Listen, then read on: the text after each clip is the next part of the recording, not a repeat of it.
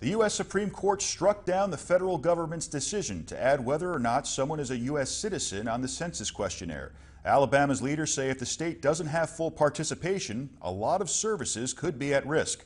Our State Capitol Bureau reporter Rashad Hudson has more. Alabama leaders are making a big push for the 2020 census count, and the biggest item at risk would be the loss of a congressional seat.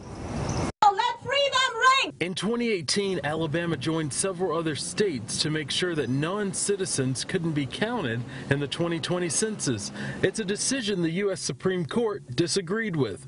In a statement from Governor Kay Ivey following the Supreme Court's ruling reads, quote, I urge Alabamians to fill out their census forms in March and April 2020 so that we can ensure Alabama's future counts.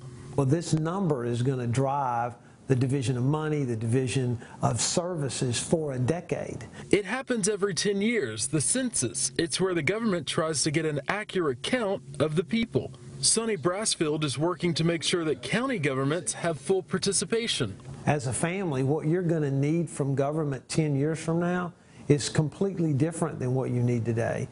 Greg Cochran is working to make sure that municipalities participate in the census. He says it affects things like school lunches, housing, and infrastructure. They're critical to our communities to help fill the funding gaps that we have at the local level.